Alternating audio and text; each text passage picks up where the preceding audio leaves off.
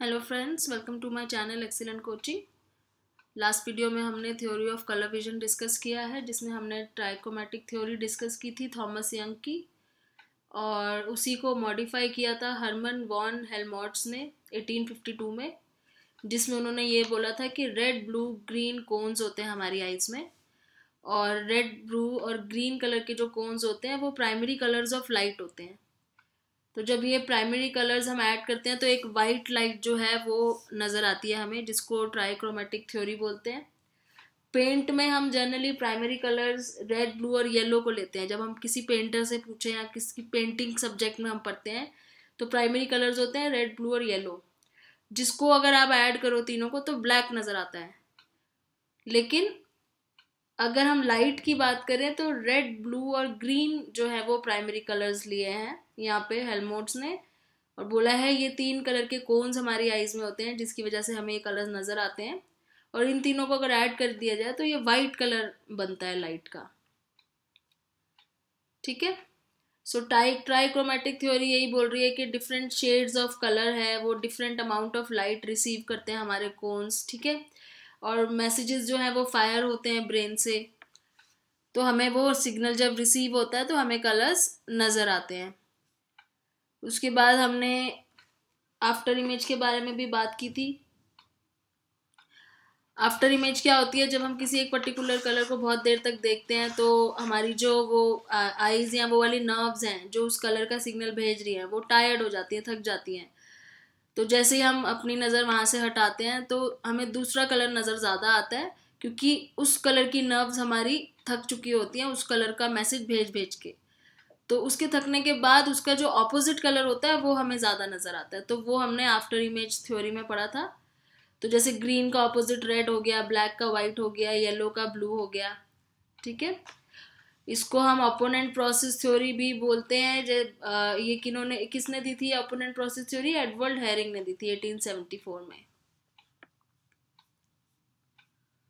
Opponent process theory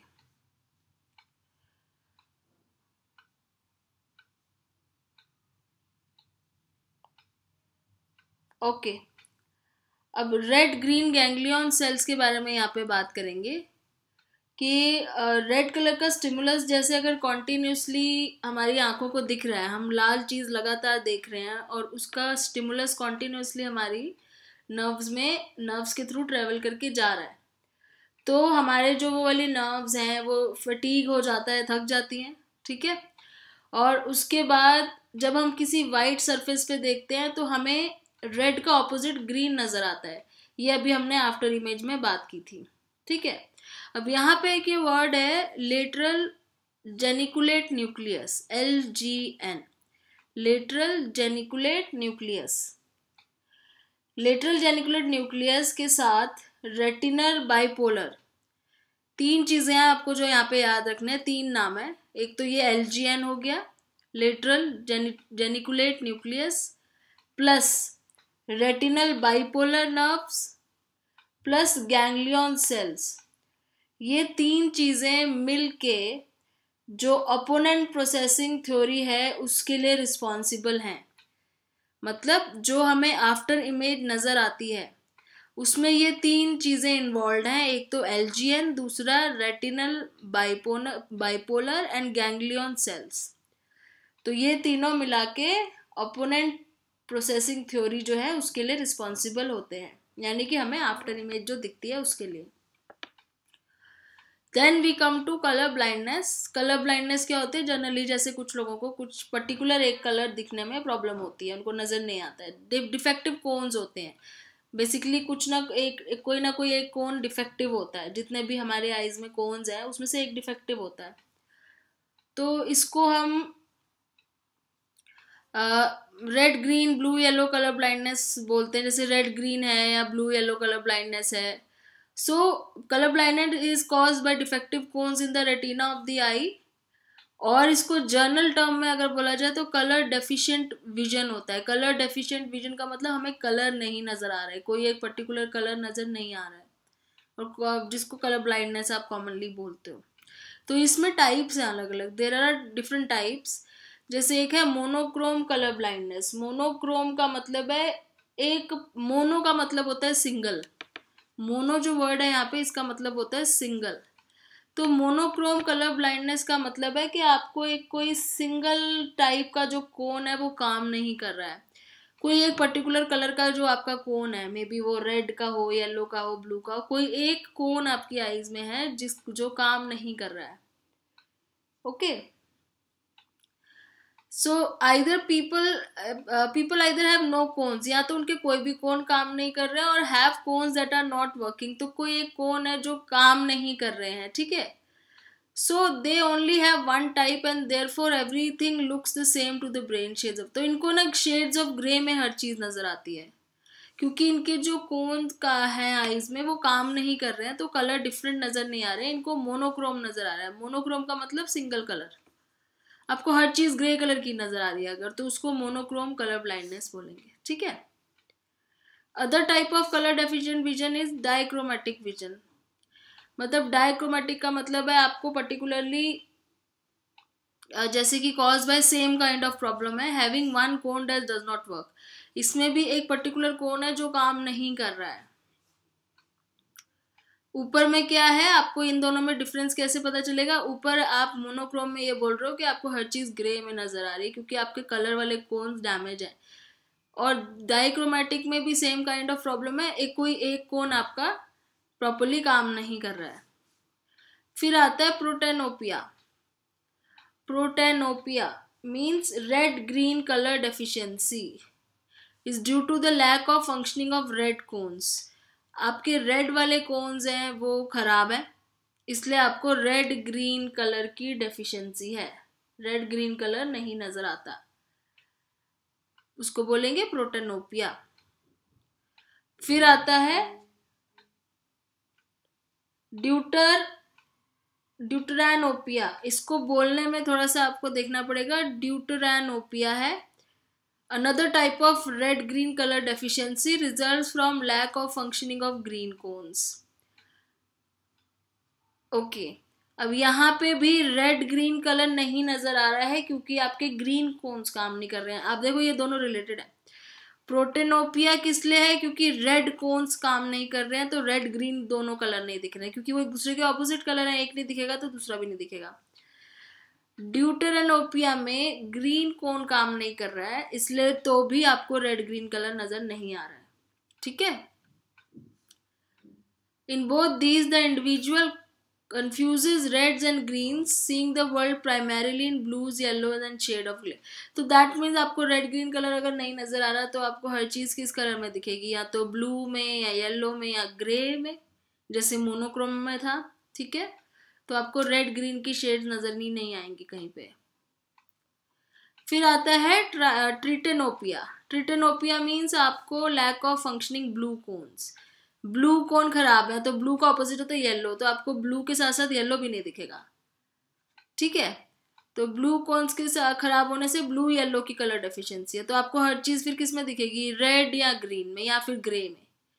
okay तो that means के monochrome में आपको सब कुछ ही ग्रे दिख रहा है, कोई कलर नहीं दिख रहा। है डायक्रोम में आपका कोई एक कोन खराब है तो आपको उसमें सेम काइंड ऑफ़ प्रॉब्लम है, जैसे मोनोक्रोम में थी। प्रोटेनोपिया मतलब कि जैसे रेड कोन खराब है तो रेड ग्रीन दोनों नहीं दिखेंगे। ड्यूटेनोपिया में ग्रीन खराब है तो रेड ग्रीन दोनों अगेन नहीं दिखेंगे। ट्रिटेनोपिया में आपका ब्लू कोन खराब है तो ब्लू और येलो कलर नहीं दिखेंगे। तो इस तरीके से ये सारी कलर डेफिशिएंसीज हैं। तो ये आपको याद रखनी है। इनके नाम में थोड़ा सा आपको ध्यान रखना पड़ेगा कंफ्यूजन ना हो। फिर उसके बाद जो नीचे पैराग्राफ दिया हुआ है, इसमें लिखा हुआ है कि जो आपका जो कलर डेफिशिएंट विजन है, ये जो प्रॉब्लम है कि कलर में प्रॉब्लम हो, देखने में प्रॉब्लम आती है। इस तरह की जो डेफिशिएंट है डेफिशिएंसी है inherited in a pattern known as sex linked inheritance मतलब ये आपको अपने पेरेंट्स से इनहेरिटेड होती है कभी कभी जिसको सेक्स लिंक्ड इनहेरिटेंस बोलते हैं, क्योंकि ये ज़्यादातर एक पर्टिकुलर सेक्स में होती है। या तो मेल में ज़्यादा होंगी या फीमेल्स में ज़्यादा होंगी। तो दैट यहाँ पे जो इन्होंने ये समझाया हुआ है कि मेल्स में ये प्रॉब्लम ज़्यादा होती है। इस पैराग्राफ में ये चीज़ है कि मेल्स में ये इनहेरिटेड ज़्यादा होती है। कलर डेफिशिएंट विजन अपने पेरेंट्स से इनहेरिटेड ज़्यादा होती है मेल्स में। अब यहाँ पे देखो एक फोटोग्राफ है। In the circle on the left side the number eight is visible only to those with normal colour vision अगर आपका नॉर्मल है कलर विजन तो आपको ये एट नज़र आएगा। ये एट बना हुआ है, यहाँ पे आपको नॉर्मली नज़र आ रहा होगा। ठीक है? और राइट में आपको ये नाइन और सिक्स क्लियर दिख रहा होगा अगर आपका कलर विजन नॉर्मल है। Okay while those with red green colour blindness will see nothing but a circle अब जिसको रेड या ग्रीन कलर की कलर ब्लाइंडनेस है, उनको यहाँ पे ये नंबर्स नहीं दिखेंगे, खाली डॉट्स दिखेंगे सर्कल के। तो इस तरीके से टेस्टिंग करी जाती है कलर विजन की। तो यहाँ पे ये समरी है। Is a form of electromagnet ये लाइट के बारे में बात हो रही है कि फ़िज़िकल स्टिमुलस है। Is a form of electromagnetic radiation with properties of both waves and particles eye में प्रोसेस होती है कॉर्निया प्यूपिल लेंस और रेटिना के थ्रू रेटिना में फ़ोटो रिसेप्टर्स होते हैं ला, लाइट के रिसेप्टर्स जिसको रॉड एंड कोन बोलते हैं और एक ब्लाइंड स्पॉट होता है। फिर साइकोलॉजिकल uh, प्रॉपर्टीज़ इसकी क्या है? ब्राइटनेस है कलर है कलर यू यू का मतलब ही कलर होता है और सेचुरेशन है। फिर सींग में आ जाते हैं। रेटिनल रिसेप्टर सेल से सींग स्टार्ट होती है कोई भी चीज़ हमें जो दिखती है वो रिसेप्टर सेल्स की वजह से दिखती है। रॉड्स और कोन्स हैं, दो तरह के फ़ोटो रिसेप्टर्स हैं। ये कहाँ पे होते हैं? Periphery of retina. रेटिना के साइड में आउटर सर्कल में रेटिना के ब्लैक एंड वाइट और शेड्स ऑफ़ ग्रे देखने के लिए। और ये डिम लाइट में काम अच्छा करते हैं, जैसे अंधेरे में देखने के लिए काम आते हैं। फिर कोन्स का ये लिखा हुआ है कि find all over but greatest density in centre of retina.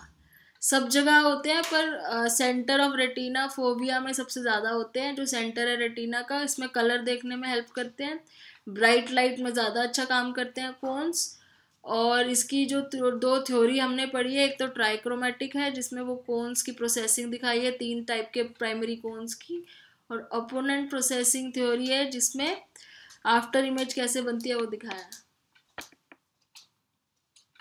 उसके बाद ये क्विज है, ये भी डिस्कस कर लेते हैं। इसमें पहला क्वेश्चन ये है which of the following terms refer to the perceived effect of the amplitude of light waves amplitude का क्या मतलब है लाइट वेव्स का? कलर सेचुरेशन ह्यू की ब्राइटनेस तो हमने ये ऊपर ब्राइटनेस में पढ़ा था कि एम्पलीट्यूड जो है ब्राइटनेस को ही बोलते हैं।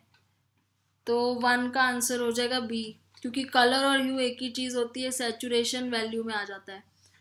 फिर है which of the following represent the correct part of light to the eye मतलब आईज में जब लाइट एंटर करती है तो वो उसका राइट right पाथ क्या है? कहाँ पे पहले आती है, फिर कहाँ जाती है? तो सबसे पहले कॉर्निया में एंटर करती है लाइट उसके बाद कॉर्निया के बाद आता है विट्रस ह्यूमर नहीं आएगा, क्योंकि ये तो अंदर होता है आइस के। तो प्यूपिल पहले आएगा, जो सर्कल होता है, बाहर आपको दिखता है, फिर लेंस आते हैं। तो इसका आंसर हो जाएगा सी टू का आंसर सी उसके बाद if you wanted to locate a dimly lit star better at night what should you do अगर कोई रात में स्टार है, जो बहुत ही हल्का मतलब बहुत ही लाइटली ब्राइट है मतलब बहुत हल्का नज़र आ रहा है, उसको आपने ध्यान से ढूंढना है तो आप कैसे करोगे? Look directly at it because the cones will focus तो यहाँ पे ध्यान दो नाइट की बात कर रहा है और हमने अभी पढ़ा था कि रात को रॉड्स काम करते हैं ज़्यादा कोन्स नहीं। तो कोन्स वाला तो वैसे ही ऑप्शन गलत हो जाएगा। यहाँ पे भी कोन्स है, यहाँ पे भी कोन्स है, ये ऑप्शन गलत है। ये दो रॉड्स वाले हैं। Look directly at the at it because the rods can see sharply look off to the side using the rods in the periphery. अब रॉड्स periphery में होते हैं, अभी हमने समरी में भी पढ़ा है। तो ये वाला ऑप्शन इसमें आएगा कि साइड से देखें ऑफ़ टू द साइड में देखना है उसको लोकेट करने के लिए, ढूँढने के लिए, क्योंकि पेरीफेरी में रॉड्स होते हैं हमारी आँखों के। पेरीफेरी होता है साइड्स में सेंटर में नहीं होता। फिर है question number four which theory of colour vision best accounts for after images तो आफ्टर इमेज वाली कौन सी थ्योरी है? अपोनेंट प्रोसेसिंग थ्योरी है। फोर का बी उसके बाद question five what which statement about colour deficient vision is true तो there are more man with colour deficient vision than women ये ठीक है, अभी हमने पढ़ा भी था, ऊपर के मैन में ये प्रॉब्लम ज़्यादा होती है।